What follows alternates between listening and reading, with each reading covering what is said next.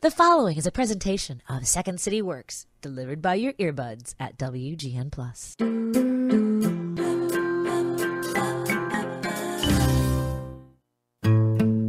Welcome to Second City Works, Getting to Yes and. I'm Kelly Leonard, creative advisor for the Second City. We are brought to you by Second City Works, which is the B2B arm of the world famous Second City Theater. You can find us at secondcityworks.com. And this is more than just a podcast. It's about getting to the yes and moment in your work and your life. The term yes and is a key pillar of improvisation. It's at the front end of creativity. It's about building on ideas and making discoveries together. This is getting to yes and.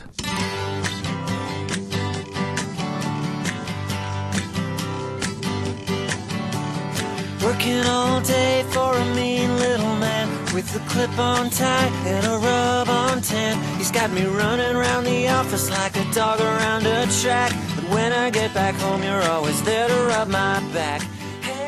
My guest today on Getting to Yes and is Julie Mason. Julie is the host of the Press Pool on Sirius XM's POTUS channel. Prior to that gig, Julie was a White House correspondent for Politico and the Washington Examiner. She spent 20 years at the Houston Chronicle, where she authored the popular humor blog Beltway Confidential. Julie, welcome to Getting to Yes and. It's so great to be with you. Thank you. So I was describing your radio show to a friend the other day, and I said that I thought you were a latter-day Molly Ivins. Uh, uh, in the spirit of that, I found this quote from her uh, where she said, "The thing about democracy, beloveds, is that it is not neat, orderly, or quiet. It requires a certain relish for confusion." Uh, that sounds about right. Yeah, that sounds perfect, especially for these times.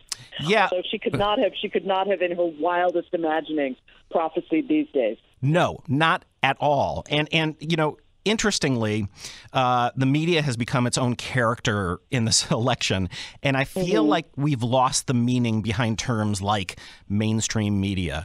And and I'm just wondering from your perch, do you think media's changed? Has the country changed? Has everything changed? What what's going on? It has changed, but not not to the extent and not in the way people think. Um, it's it's harder for reporters now because deadline is right now. Deadline isn't at 7 p.m. when it used to be, so you don't have time to chew over a story and make those five extra calls and make sure you know you've got to slap it up now. And everyone wants their news for free. No one's willing to pay for it, so they have cheaper, faster news. Like everyone's eating McDonald's instead of like settling down with a nice, well prepared home cooked meal. But there is still home cooked meals available. Uh, so people, I think people get fixated on cable. They get fixated on like instant news, but there's still great newspapers and great publications and even great network news reporters doing the in-depth stories. It's just it takes a little effort to find it. Right. There's so, there's so much noise. Um, and, and and I know, you know, one of the things I really enjoy about your show is uh, that it it appears to operate outside of my own echo chamber. You know, so who am I? I'm a, I'm a, uh liberal, you know, live urban setting, works in a theater. We all know, like my Facebook feed is is clear.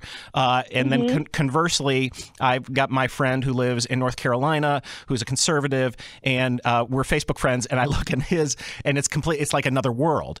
Uh, and, and and the thing I think about your show, and I and you get challenged a lot on this, right? Because people assume you have a particular kind of, uh, well, they'll call it a media bias. I think every human being has some level of cognitive bias.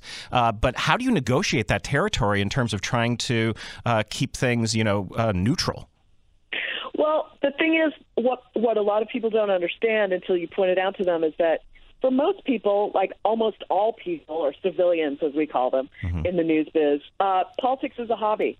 They have their job, they go to their job every day, and they have their family life, and politics is something on the side. But for us, this is our job. We do this every day.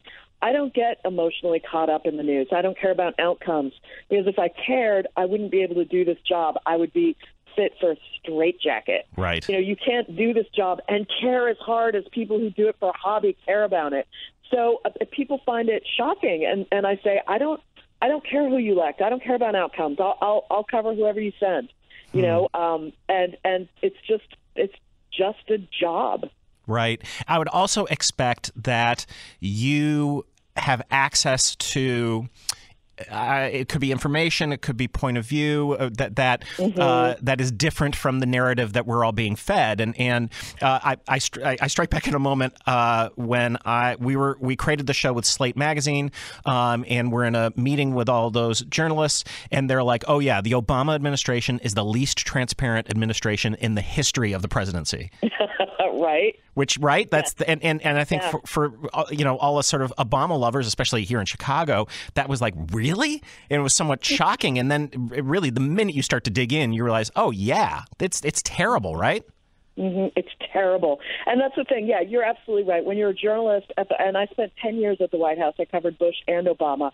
You experience the presidency on a whole different level. It's just a completely different thing, even from what you're writing. So, I mean, pretty much any White House reporter will tell you President Bush, you know, worst president of our lifetime, ruined life as we know it, misbegotten wars, horrible. Spent his whole second term sobbing and staggering through the White House. Nicest guy, nicest, most mm-hmm. gracious, one of the best persons, one of the one of the best people I've ever met. Wow. A wonderful guy. Oh, President Obama, you know, beloved, Nobel Peace Prize winner, you know, turning everything around just kind of not that great a guy. You know, not not fun to spend time with, not right. very pleasant. Hmm. Kind of, you know, very uh, condescending and doesn't know anyone's name and and you know, no drama. Obama's a lie too. He's got a terrible suppressor. Hmm. So you know, kind of like a, it's just you, you just think you experience the presidency much differently. Uh, okay, so on levels of transparency, if Hillary gets elected or Trump gets elected, exactly. Is it? Are we now doubling down?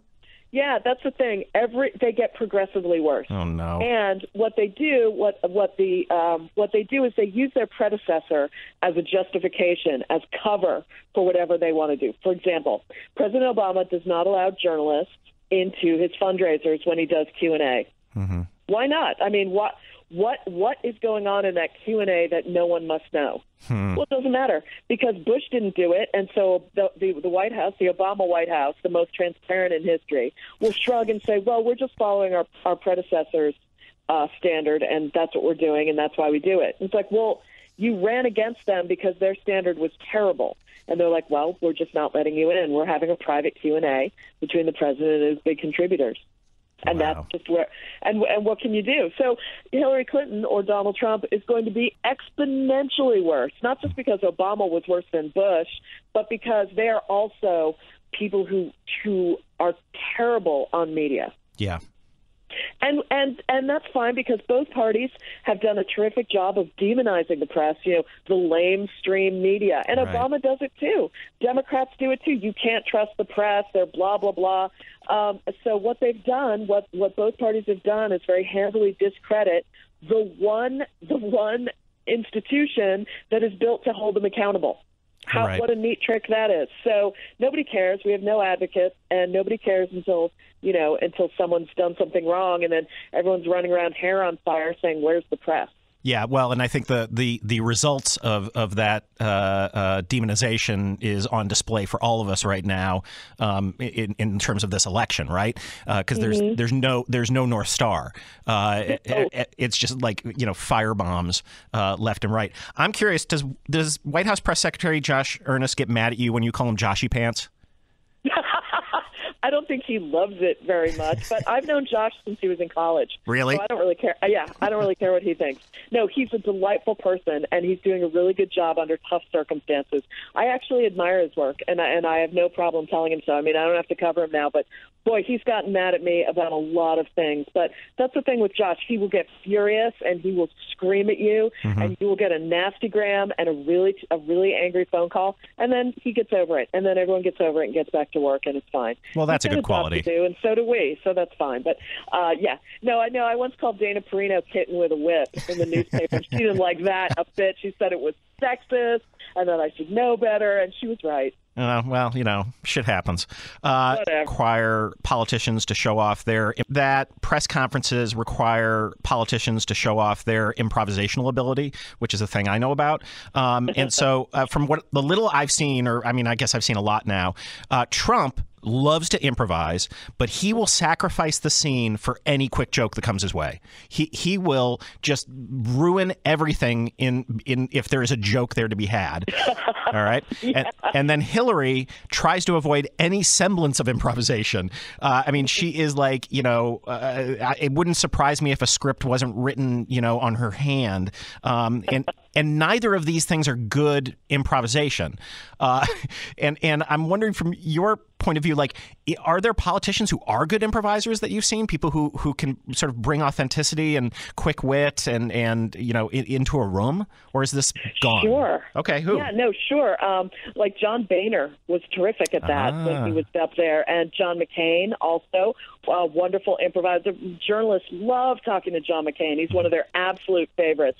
There's lots of uh, lots of uh, members up on Capitol Hill who like talking to reporters, need to talk to reporters, and know how to do it in a way that is is professional and also makes news. You know, Hillary Clinton and Barack Obama. Once you get to the presidential level and you have a quote unquote news conference, your objective when you come out is to not make any news at all. Yeah.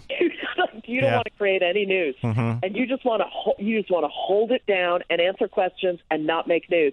Donald Trump isn't a politician, so he doesn't care about making news. He just, you know, I, I don't even know what his objectives are when he talks to reporters. Of course, he doesn't really talk to them anymore. And in fact, today, just today, canceled an interview with Sean Hannity. So I saw that. taking questions these days. Yeah. But, uh, but so it's really it's really hard to to shake some news out of them, and it's a real art. A lot of people who watch press conferences don't understand why reporters ask questions the way they do, and why like five people will ask the same question and over and over. But there's a method to that. There's a reason. Mm-hmm. Trying to shake them off their talking points, trying to get them to be spontaneous in a way that they're determined not to be. And so reporters are focused on that, not asking, "Well, could you explain to us your policies on the Affordable Care Act?" It's, no. You're trying. To, we know your policies. We're, we're trying to shake you out of that. Interesting. Uh, so my experience in three decades, and, and we've played in front of tons of political audiences. We actually have been hired by various you know parties. That traditional Republican audiences way better than traditional Democrat audiences. Democrats are the worst. I, Yep. Republicans, they're naughty. They like to drink and laugh and get into a little bit of trouble. Uh-huh. And anything a little racy is electrifying to them. Mm-hmm. They they they you know they drink water and they want to have breakout sessions and symposia and they ruin everything by talking it to death. And they they're not funny. They're very very earnest. Just Yep. like vegan. They're like vegans. They're Yep. they're terrible. Yeah, Uh, uh, being earnest is the the killer of comedy. It, it's just Yeah. it's no good. Um, speaking of that, though, you're involved with the White House Correspondents Association, right? Yes, longtime member. All right, so we have some cro- member. we have some crossover. Uh, I've actually been consulted a few times on potential speakers, uh, actually Wow. qu- quite recently. Um, and I'm wondering, were you in the room when Colbert did his infamous roast of uh, George W. Bush? Yeah, I was. That was very awkward. Well, okay, so I talked so I talked to Stephen about that whole thing, uh, and I think you know people thought he went into that with this intent of satiric takedown, when in fact he assumed he was hired to play the character that he does and do what his character does, and he he was so baffled by the reaction when he got off uh, the stage. Uh, Harry Lennix, who's a, a actor who you know from The Matrix and and uh, Blacklist, uh, who went to Northwestern with Stephen, uh, came up to him afterwards like, "You nailed it," and he really didn't know what he meant. Yeah, that was that was really hard. I mean, there were a lot of people in the room who weren't familiar with his act and Yep. didn't know. And but from the Correspondents Association's perspective, uh, the president is our guest. Yep. You know, and and to call the to have the and the president when the president goes, that's the reason they can jack up ticket prices, charge you three hundred bucks. They give that money to um, to scholarships. But if you call the president to dinner and insult him, he's not going to come next year, mm-hmm. and then your dinner is crap, and no one will go, and then you've you've like ruined the whole reason for it. And so it just it, it just it's very it's just very uncomfortable when you when you make the president uncomfortable. And it would be the same with Obama or Hillary Clinton or anyone else. That's interesting. I mean, and, and it played so differently afterwards than it did in the moment. In the same way we talk about these debates, right? Where it, it mm-hmm. almost doesn't matter what happened in the debate, it's what everyone's thinking three days later. Yeah, and it's you just you you view it through the scrim of your own ideas. People who hated Bush loved Colbert. Yeah. They thought that was brilliant and that everyone in the room was stuffy and wrong and it just proves blah blah blah. but for journalists trying to raise money for scholarships, that was an incredibly awkward moment, and mm-hmm. It made the president unhappy, and it made the first lady unhappy, and you know, it just made a lot of people very uncomfortable. That's the reason why, for example, like everyone would love to have Chris Rock at the dinner, right? He would Yeah. be so good. Wouldn't that be so fun? Oh, yeah. But he plays so blue. And you can't have the president of the United States sitting there while someone curses and talks about sex, and you just can't do it. It's, Yeah. This is a, you know, this is on C-SPAN. People watch this. It's, you know, it's not a roast. Right. It's, um, it's a, it's a fundraiser for for journalism scholarships. Uh, you know, so speaking of that, though, I think that that's one of those moments at the end of Larry Wilmore's piece that everyone sort of felt like, ugh, you know, the, the, it kind of turned. I don't know what. Yeah. Yeah. Was that that you felt that way too? Well, no, I mean, I felt bad that everyone felt that way. I Ah. love Larry, and I thought he did a wonderful job. And President Obama was not bothered by that at all. He thought that was funny. He's loosened up way w- a lot in his second term, as everyone knows. He's loosened way up. So he wasn't bothered, but other people were offended, and that was unfortunate too. That's why they they hire TV people, as you know, they hire TV people a lot because TV people know how to like keep it on lockdown. Yep. You know, they know they know what the parameters are, what's allowed and what's not allowed. And and Larry was just kind of like YOLO, and uh, and Obama laughed, and no one no one was hurt by that, but but some people in the audience, even some journalists, were were troubled. I, I guess you know what's the answer? One year we had um oh who was that guy? Uh, Rich Little. Oh yeah. He was he was terrible. Yeah. He was, but he but he offended no one. Well, yeah. I mean, it was it, his only offense was that he was like from another era, from like the 1960s, Right. he was like from the match game era. Yeah. Well, if And- so, and- yeah, if someone if someone tells you like they're a humorist, by the way, that's a that's a word that means not funny. okay, good. So that's your warning. Yeah, all right, good to know. Um, God, yeah, that that's so interesting because you know when we're talking about the use of, of comedy, right? I, I think, well, I know that so many people use comedy without a license, uh, you know, and there there's those of us who've been working craft who who, who study this and, and understand it. And and the thing about comedy is it's entirely effective in two different ways. It's very effective to build communities, to bring people together that we're all laughing at a shared recognition, and it can do exactly the opposite. It can create exclusion. It, it can uh, uh, make an other. We're laughing at those people, and that's what those jokes. You know, what what many people I think respond to, may, maybe with Larry Wilmore, is that they're being offended on behalf of others, because the president wasn't offended by that line. Uh, but there there is that worry. Right. Um, it's. I mean, I, I have to imagine that, that it's incredibly fraught when you're doing comedy in the context of politics. Yeah. Yeah, but but and I think what what happens is you know again because politics and the business world right you know come together and the business world is telling you overwhelmingly in advertising uh, comedy is the most effective uh, way to sell shit. It just it just is. Um, and the thing about what's interesting about Obama, I mean, he's really good on script it, comedically. He, he has all the rhythms of a comedian. It's it's it's really really good. Can I ask you something? Yeah. People, I, love that he laughs at his own jokes. I find that charming Mm-hmm. Yep. about him. It drives other people crazy. They think it's like it's like uh, comedically challenged. Where do you stand on that? Well, okay, so there's the Harvey Korman effect, is what we call it, which is like when you're fake laughing at your own joke to to get a laugh. That's like a no no, and I don't see him doing that. I no, think I think he's genuinely entertaining. he's genuinely enter- entertained by myself by himself, and I think that that's a- absolutely fine. Um, and the thing is, like. Trump is funnier than Clinton, like by miles, uh, but he also uses comedy as a weapon, um, you know, all the time. That's that's kind of his thing. He's an insult comic. He's Don Rickles, uh, Right. so so that's where that. And it's funny because and then Gary Johnson, you know, is God love him, he's dad funny. Um, right? I mean, I don't know him. Is he Right, is he funnier? Okay, no, he's dad funny Dad, funny, yeah. and I can't tell about Jill Stein. I don't. I, I wouldn't. I mean, I don't know. I if I crossed her in the street, I don't think I'd know who she was. Yeah, I've talked to her. I, I, I'm not sure funny is like in her repertoire. That's not her thing. Uh, so the here's something I want to I want to talk to you about. Um, I've been surprised by the lack of insight and dialogue around the gender equation in this election. And and I found a quote of yours that was actually you wrote in advance of a debate between then presidential candidates, uh, vice presidential candidates Joe Biden and Sarah Palin, and you said, "quote It's a delicate thing debating a woman." which I think is just totally true, and I understand that. But it feels like n- no one is digging into the fact that. Oh, I don't know. You know, black men got the right to vote in this country in 1870, but women didn't get the right to vote until 1920. it, it, I don't know. Maybe it's because Hillary Clinton isn't really new on the scene. Yeah. And so, uh, but but there is. I mean, I do I do hear things like, in, for example, in the last debate when he was sort of looming over her and Oh, working God. around her. There was a lot of discussion about that. Was it effective? Was it did it did he undermine himself with that? So there's that.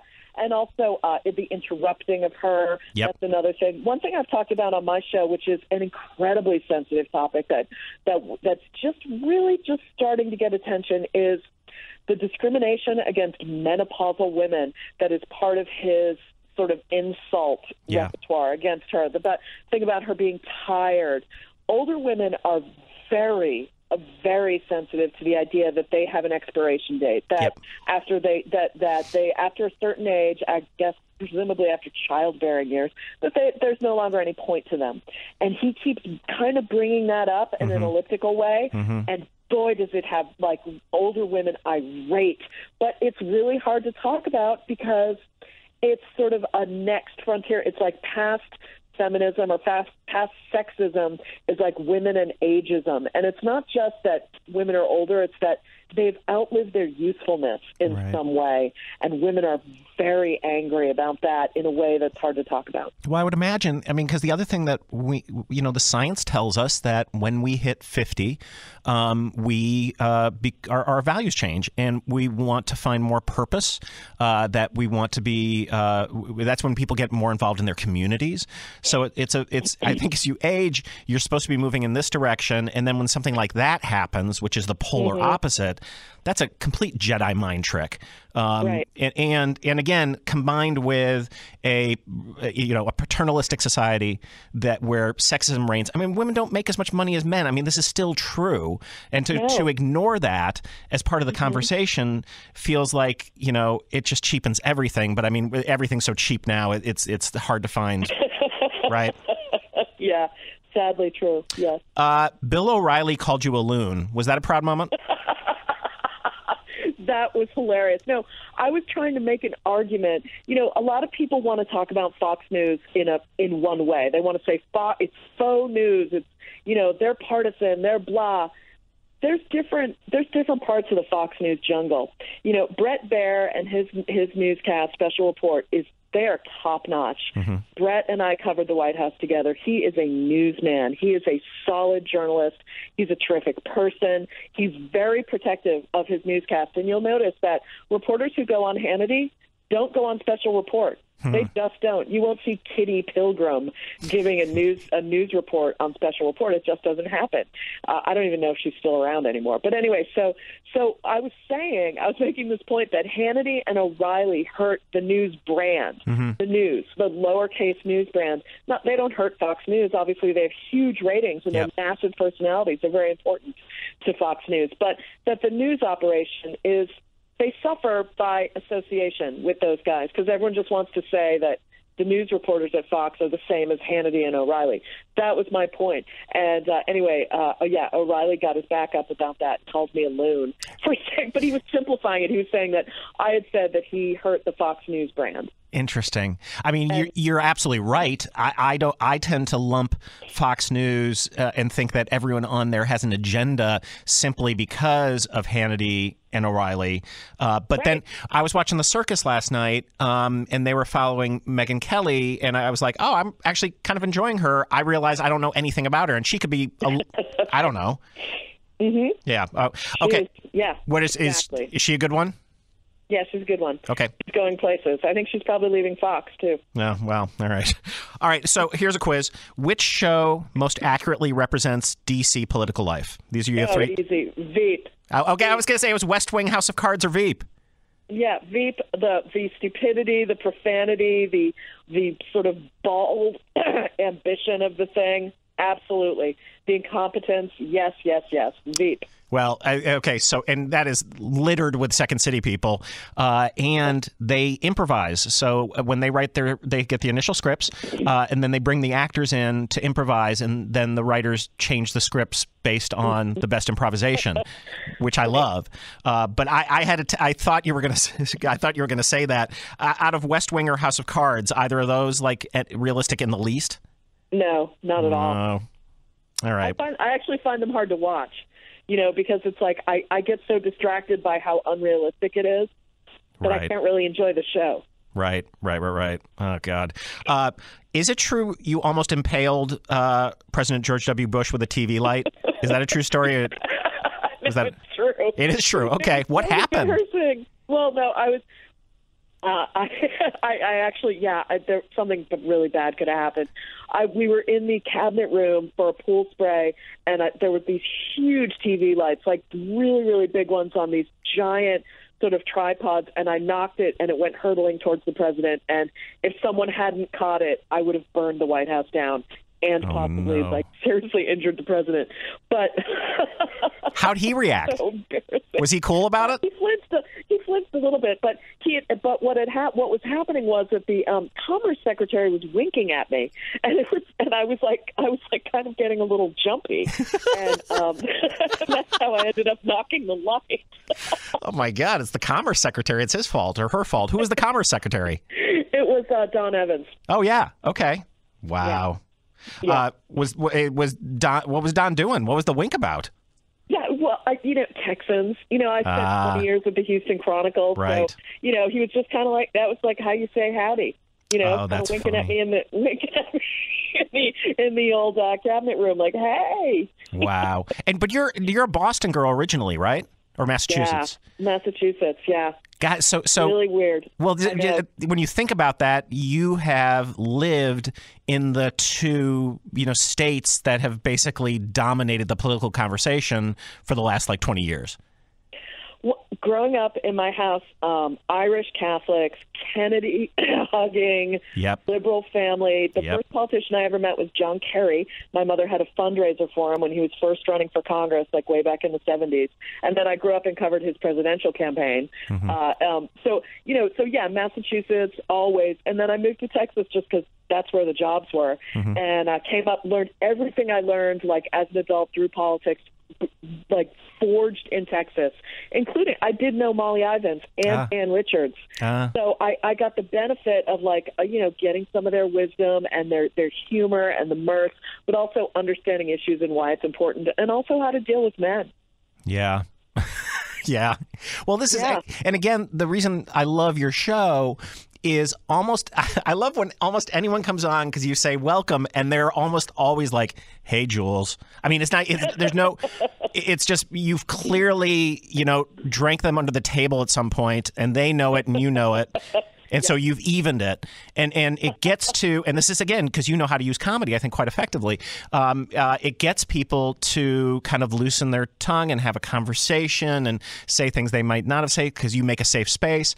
And this is a really, really terrific way to use comedy. And I think what we're seeing in the selection is that you can go these both ways. You can also do it to to alienate and and make people the other, um, and that's and that's a real problem. And I think it, it, it, as as we wish for more sophisticated, you know, conversations uh, between the electorate and and our politicians, or between our politicians themselves, you just you know like the death. Th- this election is like the death of the English language and the death of comedy. That's what it feels like. In a way, we get what we deserve. You know, Yep. I trace it back to the writers' strike when we started getting all that reality TV because it was cheaper to produce. Now we get, and now we have that, that influencing the news, which has to be cheaper to produce because everyone wants it for free and they want it right now. They won't, they don't want to pay for it. So uh, it's sort of that that's a bit of a trickle down effect but but again if you want to take the people always say to me why isn't everyone covering x and I go to Google News and I type in X, and there's three million stories about Right, X. right. I'm like, you know what? If you just make a tiny effort, you Yep. will find what you want. But you can't just sit there waiting for the airplane to bring you the news. You know, you got to like. There's a responsibility in a democracy to be informed, not just sit there passively with your mouth open and cable on, saying, "Why isn't anyone covering the news?" Yep, yep. Uh, okay, so we're coming to the end of the podcast of our 30 minutes, and, and one of the questions that we ask every guest is, you know, the, the podcast is called Getting to Yes And, and this is around the improv principle uh, of Yes And, which is when you're making something out of nothing with groups of people, you can't say no, and you just can't say yes. You have to say yes and. And I'm wondering if when you think back in your life, and this can be professional, it can be personal, it, was there a time when uh, you would normally have done a no, but instead you did a yes and, and the results were, you know, what they were? Were they they were miraculous, or the other way? Uh, what was the yes and moment in your life? Oh, that's that's so easy going from print to radio. You Uh-huh. know, it scared the hell out of me. I hadn't done it before. It was a huge risk. All my friends told me not to do it. Mm-hmm. I was a White House reporter at Politico. I'd been there 10 years. I was in a gr- I was in great shape professionally. I loved my job. I loved my boss. Everything was good, and but I I wanted to take a risk, and it scared the hell out of me. Mm-hmm. And I thought I could go down. If this could be the end of my career, I could go, I could suck at this. I could go down in flames. But I did it. I risked everything. I put it out there. I said yes, and I'm going to try it and I did it, and it's been amazing. And I just think that that um, smart risk taking is the best way to live. Totally. Julie Mason, thanks for coming on the show. Thank you so much. It's been really fun. Well,